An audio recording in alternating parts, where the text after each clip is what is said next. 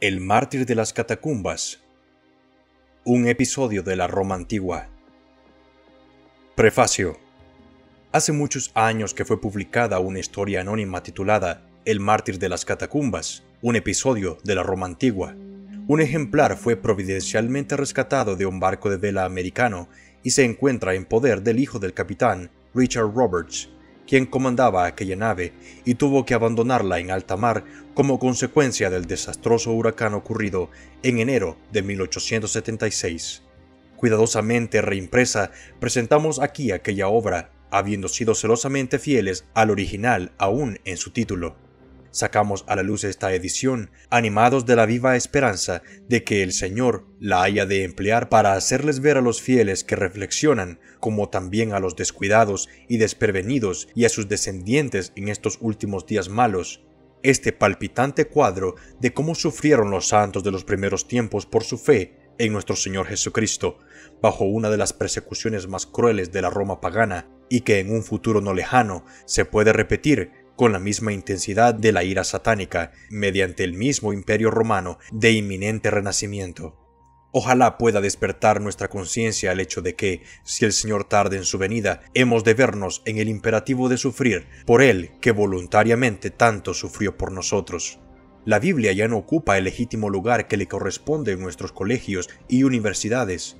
La oración familiar es un hábito perdido. Nuestro Señor Jesucristo el unigénito y bien amado Hijo del Dios viviente, es desacreditado y deshonrado precisamente en la casa de aquellos que profesan ser sus amigos. El testimonio en corporación ha desaparecido de la tierra, no se obedece el llamado a la Odisea al arrepentimiento, y es así que la promesa del Señor de la comunión con Él está librada solo al individuo. Y aún a nosotros, en estos días, puede alcanzarnos la promesa a Esmirna, Sé fiel hasta la muerte, y yo te daré la corona de la vida. La sangre de los mártires de Rusia y Alemania clama desde la tierra, cual admonición a los cristianos de todos los países, pero aún podemos arrancar de nuestras almas el clamor adelante. Ven, Señor Jesús, ven pronto. Richard L. Roberts Capítulo 1 El Coliseo Cruel carnicería para diversión de los romanos. Era uno de los grandes días de fiesta en Roma. De todos los extremos del país, la gente convergía hacia un destino común. Recorrían el Monte Capitolino, el Foro, el Templo de la Paz, el Arco de Tito y el Palacio Imperial en su desfile interminable hasta llegar al Coliseo, en el que penetraban por las innumerables puertas, desapareciendo en el interior. Allí se encontraban frente a un escenario maravilloso. En la parte inferior, la arena interminable se desplegaba, rodeada por las incontables hileras de asientos que se elevaban hasta el tope de la pared exterior que bordeaba los 40 metros. Aquella enorme extensión se hallaba totalmente cubierta por seres humanos de todas las edades y clases sociales. Una reunión tan vasta, concentrada de tal modo, en la que sólo se podía distinguir largas filas de rostros fieros que se iban extendiendo sucesivamente, constituía un formidable espectáculo que en ninguna parte del mundo ha podido igualarse y que había sido ideado, sobre todo, para aterrorizar e infundir sumisión en el alma del espectador. Más de cien mil personas se habían reunido aquí, animadas de un sentimiento común e incitadas por una sola pasión, pues lo que les había traído a ese lugar era una ardiente sed de sangre de sus semejantes. Jamás se hallará un comentario más triste de esta alardeada civilización de la antigua Roma que este macabro espectáculo creado por ella. Ahí se hallaban presentes guerreros que habían combatido en lejanos campos de batalla y que estaban bien enterados de lo que constituían actos de valor. Sin embargo, no sentían la menor indignación ante las escenas de cobarde expresión que se desplegaban ante sus ojos. Nobles de antiguas familias se hallaban presentes allí, pero no tenían ojos para ver estas exhibiciones crueles y brutales, el estigma sobre el honor de su patria. A su vez los filósofos, los poetas, los sacerdotes, los gobernadores, los encumbrados, como también los humildes de la tierra atestaban los asientos, pero los aplausos de los patricios eran tan sonoros y ávidos como los de los plebeyos. ¿Qué esperanza había para Roma cuando los corazones de sus hijos se hallaban íntegramente dados a la crueldad y a la opresión más brutal que se pueda imaginar? El sillón levantado sobre un lugar prominente del enorme anfiteatro se hallaba ocupado por el emperador Decio, a quien rodeaban los principales de los romanos. Entre estos se podía contar un grupo de la Guardia Pretoriana, que criticaban los diferentes actos de la escena que se desenvolvía en su presencia con aire de expertos. Sus carcajadas estridentes y su esplendida vestimenta los hacían objeto de especial atención de parte de sus vecinos. Ya se habían presentado varios espectáculos preliminares y era hora de que empezaran los combates. Se presentaron varios combates mano a mano, la mayoría de los cuales tuvo resultados fatales, despertando diferentes grados de interés según el valor y habilidad que derrochaban los combatientes. Todo ello lograba el efecto de aguzar el apetito de los espectadores, aumentando su vehemencia, llenándoles del más ávido deseo por los eventos aún más emocionantes que habían de seguir. Un hombre en particular había despertado la admiración y el frenético aplauso de la multitud. Se trataba de un africano de Mauritania, cuya complexión fortaleza era de gigante, pero su habilidad igualaba a su fortaleza. Sabía blandir su corta espada con destreza maravillosa, y cada uno de los contrincantes que hasta el momento había tenido yacía muerto. Llegó el momento en que había de medirse con un gladiador de Batavia, hombre al cual solamente él le igualaba en fuerza y en estatura, pero lo separaba un contraste sumamente notable. El africano era tostado, de cabello relumbrante y rizado y ojos chispeantes. El de Batavia era de tez ligera, de cabello rubio y de ojos vivísimos de color gris. Era difícil decir cuál de ellos llevaba la ventaja. Tan acertado había sido el contejo en todo sentido, pero como el primero había ya estado luchando por algún tiempo, se pensaba que él tenía esto como una desventaja. Llegó pues el momento en que se trabó la contienda con gran vehemencia y actividad de ambas partes. El de Betavia asestó tremendos golpes a su contrincante, que fueron parados gracias a la viva destreza de éste. El africano era ágil y estaba furioso, pero nada podía hacer contra la fría y sagaz defensa de su vigilante adversario. Finalmente, a una señal dada, se suspendió el combate y los gladiadores fueron retirados pero de ninguna manera ante la admiración o conmiseración de los espectadores, sino simplemente por el sutil entendimiento de que era el mejor modo de agradar al público romano. Todos entendían naturalmente que los gladiadores volverían. Llegó ahora el momento en que un gran número de hombres fue conducido a la arena. Estos todavía estaban armados de espadas cortas. No bien pasó un momento cuando ya ellos habían empezado el ataque. No era un conflicto de dos bandos opuestos, sino una contienda general, en la cual cada uno atacaba a su vecino. Tales escenas llegaban a ser las más sangrientas y por lo tanto las que más emocionaban a los espectadores. Un conflicto de este tipo siempre destruía el mayor número en el menor tiempo. La arena presentaba el escenario de confusión más horrible, 500 hombres en la flor de la vida y la fortaleza, armados de espadas, luchaban en ciega confusión unos contra otros. Algunas veces se trenzaban en una masa densa y enorme, otras veces se separaban violentamente, ocupando todo el espacio disponible, rodeando un rimero de muertos en el centro del campo. Pero a la distancia se asaltaban de nuevo con indeclinable y sedienta furia, llegando a trabarse combates separados en todo alrededor del macabro escenario. El victorioso en cada uno corría presuroso a tomar parte en los otros hasta que los últimos sobrevivientes se hallarían nuevamente empeñados en un ciego combate masivo. A la larga, las luchas agónicas por la vida o la muerte se tornaban cada vez más débiles. Solamente unos cien quedaban de los quinientos que empezaron, al cual más agotado y heridos Repentinamente se dio una señal y dos hombres saltaban a la arena y se precipitaban desde los extremos opuestos sobre la miserable multitud. Era el africano y el de Batavia, ya frescos después del reposo, caían sobre los infelices sobrevivientes que ya no tenían ni el espíritu para combinarse, ni la fuerza para resistir. Todo se reducía a una carnicería. Estos gigantes mataban a diestra y a siniestra sin misericordia, hasta que nadie más que ellos quedaban de pie en el campo de la muerte y oían el estruendo del aplauso de la muchedumbre. Estos dos nuevamente rodeaban el ataque, uno contra el otro, atrayendo la atención de los espectadores. Mientras eran retirados los despojos miserables de los muertos y heridos, el combate volvía a ser tan cruel como el anterior y de invariable similitud. A la agilidad del africano se oponía la precaución del de Batavia, pero finalmente aquel lanzó una desesperada embestida final. El de Batavia lo paró con la velocidad del relámpago, devolvió el golpe. El africano retrocedió ágilmente y soltó su espada. Era demasiado tarde porque el golpe de su enemigo le había traspasado el brazo izquierdo, y conforme cayó, un alarido estrepitoso de salvaje regocijo surgió del centenar de millares de así llamados seres humanos.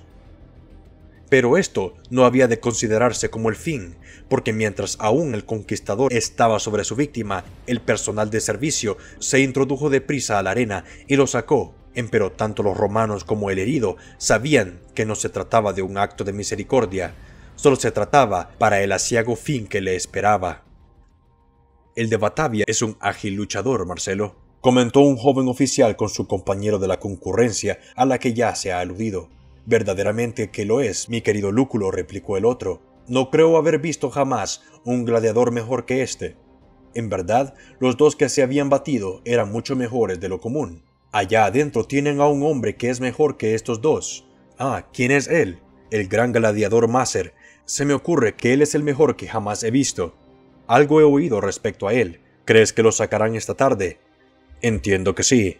Esta breve conversación fue bruscamente interrumpida por un tremendo rugido que surcó los aires procedentes del vivario, o sea, el lugar de donde se tenían encerradas las fieras salvajes.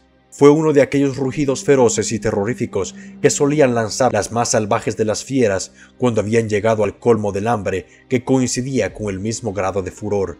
No tardaron en abrirse los enrejados de hierro manejados por los hombres desde arriba, apareciendo el primer tigre al acecho en la arena. Era una fiera del África, desde donde había sido traída no muchos días antes. Durante tres días no había probado alimento alguno, y si el hambre juntamente con el prolongado encierro habían aguzado su furor a tal extremo que solamente el contemplarlo aterrorizaba. Azotándose con la cola, recorría la arena mirando hacia arriba, con sanguinarios ojos a los espectadores, pero la atención de estos no tardó en desviarse hacia un objeto distinto. Del otro extremo de donde la fiera se hallaba fue arrojado a la arena nada menos que un hombre. No llevaba armadura alguna, sino que estaba desnudo, como todos los gladiadores, con la sola excepción de un taparrabo. Portando en su diestra la habitual espada corta, avanzó con dignidad y paso firme hacia el centro del escenario. En el acto, todas las miradas convergieron sobre este hombre. Los innumerables espectadores clamaron frenéticamente: Máser, Máser. El tigre no tardó en verlo, Lanzando un breve pero salvaje rugido que infundía terror,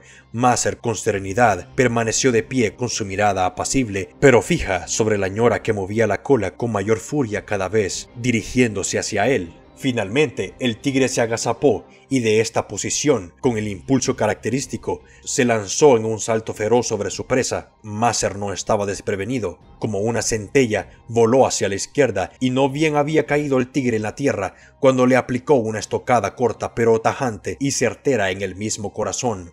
Fue el golpe fatal para la fiera. La enorme bestia se estremeció de la cabeza a los pies y encogiéndose para sacar todas las fuerzas de sus entrañas, soltó su postrer bramido que se oyó casi como el clamor de un ser humano, después de lo cual cayó muerta en la arena. Nuevamente el aplauso de la multitud se oyó como el estrépito del trueno por todo el derredor. Maravilloso, exclamó Marcelo. Jamás he visto habilidad como la de Maser. Su amigo le contestó reanudando la charla. Sin duda, se ha pasado la vida luchando. Pronto el cuerpo del animal muerto fue arrastrado fuera de la arena, al mismo tiempo que se oyó el rechinar de las rejas que se abrían nuevamente, atrayendo la atención de todos. Esta vez era un león. Se desplazó lentamente en dirección opuesta, mirando alrededor suyo al escenario que le rodeaba. En actitud de sorpresa, era este el ejemplar más grande de su especie, todo un gigante en tamaño, habiendo sido largo tiempo preservado hasta hallarle un adversario adecuado. A simple vista, parecía capaz de hacer frente victoriosamente a dos tigres como el que le había precedido. A su lado, Maser no era sino una débil criatura. El ayuno de esta fiera había sido prolongado, pero no mostraba la furia del tigre. Atravesó la arena de un extremo al otro y luego a todo alrededor en una especie de trote, como si buscara una puerta de escape. Mas hallando todo cerrado, finalmente retrocedió hacia el centro y pegando el rostro contra el suelo, dejó oír un profundo bramido tan alto y prolongado que las enormes piedras del mismo Coliseo vibraron con el sonido. Maser permaneció inmóvil. Ni un solo músculo de su rostro cambió en lo más mínimo. Estaba con la fortaleza erguida, con la expresión vigilante y característica, sosteniendo su espada en guardia. Finalmente, el león se lanzó sobre él de lleno. El rey de las fieras y el rey de la creación se mantuvieron frente a frente mirándose los ojos el uno al otro, pero la mirada serena del hombre pareció enardecer la ira propia del animal. Erecta la cola y todo él retrocedió, y tirando su melena se agazapó hasta el suelo en preparación para saltar. La enorme multitud se paró embelesada. He aquí una escena que merecía su interés. La masa oscura de León se lanzó al frente y otra vez el gladiador, en su habitual maniobra, saltó hacia el costado y lanzó su estocada. Empero esta vez la espada solamente hirió una de las costillas y se le cayó de la mano. El león fue herido ligeramente, pero el golpe sirvió solo para levantar su furia hasta el grado supremo. Maser, empero, no perdió ni un ápice de su característica calma y frialdad en este momento tremendo. Perfectamente desarmado, en espera del ataque, se plantó delante de la fiera. Una y otra vez el león lanzó sus feroces ataques y cada uno fue evadido por el ágil gladiador, quien con sus hábiles movimientos se acercaba ingeniosamente al lugar en donde estaba su arma hasta lograr tomarla nuevamente y ahora, otra vez armado de su espada protectora, esperaba el zarpazo final de la fiera que respiraba muerte. El león se arrojó como la vez anterior, pero esta vez Maser acertó en blanco. La espada le traspasó el corazón. La enorme fiera cayó, contorsionándose de dolor. Poniéndose en pie, se echó a correr por la arena y tras su último rugido agónico, cayó muerto junto a las rejas por donde había salido. Ahora Maser fue conducido fuera del ruedo, viéndose aparecer nuevamente al de Batavia. Se trataba de un público de refinado gusto que demandaba variedad. Al nuevo contendor le soltaron un tigre pequeño, el cual fue vencido. Seguidamente se le soltó un león. Este dio muestras de extrema ferocidad, aunque por su tamaño no salía de lo común. No cabía menor duda de que el de Batavia no se igualaba a Maser, el león se lanzó sobre su víctima, habiendo sido herido, pero al lanzarse por segunda vez al ataque, agarró a su adversario y literalmente lo despedazó. Entonces nuevamente fue sacado Maser, para quien fue tarea fácil acabar con el cachorro. Y esta vez, mientras Maser permanecía de pie recibiendo los interminables aplausos, apareció un hombre por el lado opuesto. Era el africano. Su brazo ni siquiera se le había vendado, sino que colgaba a su costado cubierto de sangre. Se encaminó titubeando hacia Maser con penosos pasos de agonía. Los romanos sabían que éste había sido enviado sencillamente para que fuese muerto.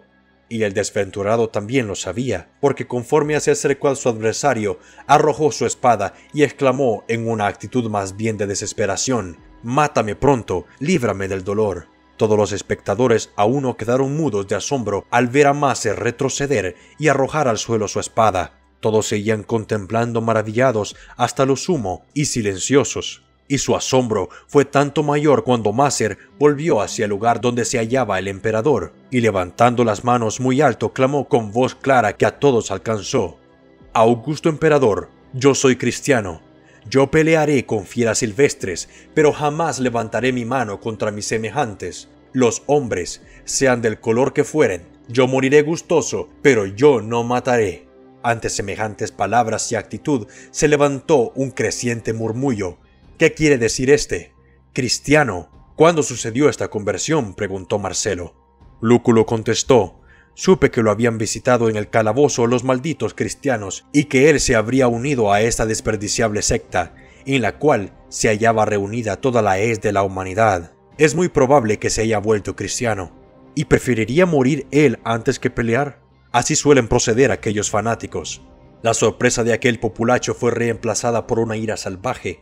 Les indignaba que un mero gladiador se atreviera a decepcionarles. Los lacayos se apresuraron a intervenir para que la lucha continuara. Si en verdad Maser insistía en negarse a luchar, debería sufrir todo el peso de las consecuencias. Pero la firmeza del cristiano era inconmovible. Absolutamente desarmado, avanzó hacia el africano, a quien él podría haber dejado muerto solamente con un golpe de su puño. El rostro del africano se había tornado en estos breves instantes cual el de un feroz endemoniado. En sus siniestros ojos relumbraba una mezcla de sorpresa y regocijo loco. Recogiendo su espada y haciéndola firmemente, se dispuso al ataque con toda libertad, hundiéndola de un golpe en el corazón de Maser. Señor Jesús, recibe mi espíritu. Salieron estas palabras entre el torrente de sangre en medio del cual este humilde pero osado testigo de Cristo dejó la tierra uniéndose al noblísimo ejército de mártires. ¿Suele haber muchas escenas como esta? preguntó Marcelo. Suele ser así, cada vez que se presentan cristianos, ellos hacen frente a cualquier número de fieras. Las muchachas caminan de frente firmemente desafiando a los leones y a los tigres, pero ninguno de estos locos quiere levantar su mano contra otros hombres. Este máser ha desilusionado amargamente a nuestro populacho. Era el más excelente de todos los gladiadores que se han conocido, empero al convertirse en cristiano cometió la peor de las necedades. Marcelo contestó meditativo. Fascinante religión debe ser aquella que lleva a un simple gladiador a proceder de la manera que hemos visto. Ya tendrás la oportunidad de contemplar mucho más de esto que te admira. ¿Cómo así? ¿No lo has sabido? Estás comisionado para desenterrar a algunos de estos cristianos. Se han introducido en las catacumbas y hay que perseguirlos. Cualquiera pensaría que ya tienen suficiente. Solamente esta mañana quemaron 50 de ellos. Y la semana pasada degollaron 100, pero eso no es nada. La ciudad íntegra se ha convertido en todo un enjambre de ellos. Pero el emperador Decio ha resuelto a restaurar en toda su plenitud la antigua religión de los romanos. Desde que estos cristianos han aparecido, el imperio va en vertiginosa declinación. En vista de eso, él se ha propuesto a aniquilarlos por completo. Son la mayor maldición y como a tal se les tiene que tratar. Pronto llegarás a comprenderlo. Marcelo con modestia. Yo no he residido en Roma lo suficiente, y es así que no comprendo qué es lo que los cristianos creen en verdad. Lo que ha llegado a mis oídos es que casi cada crimen que sucede se les imputa a ellos. Sin embargo, en el caso de ser como tú dices, he de tener la oportunidad de llegar a saberlo. En ese momento, una nueva escena les llamó la atención. Esta vez entró al escenario un anciano, de figura inclinada y cabello plateado, era de edad muy avanzada. Su aparición fue recibida con gritos de burla e irrisión, aunque su rostro venerable y su actitud digna hasta lo sumo hacía presumir que se le presentaba para despertar admiración. Mientras las risotadas y los alaridos de irrisión herían sus oídos, él elevó su cabeza al mismo tiempo que pronunció unas pocas palabras. ¿Quién es él? preguntó Marcelo. Ese es Alejandro, un maestro de la abominable secta de los cristianos es tan obstinado que se niega a retractarse. Silencio, escucha lo que está hablando. Romanos, dijo el anciano, yo soy cristiano. Mi Dios murió por mí, y yo gozoso ofrezco mi vida por él. Esta persecución por el emperador Decio fue desde el año 249 al 251 después de Cristo, o sea que duró como dos años y medio. Decio murió en batalla con los godos más o menos a fines del 251 después de Cristo.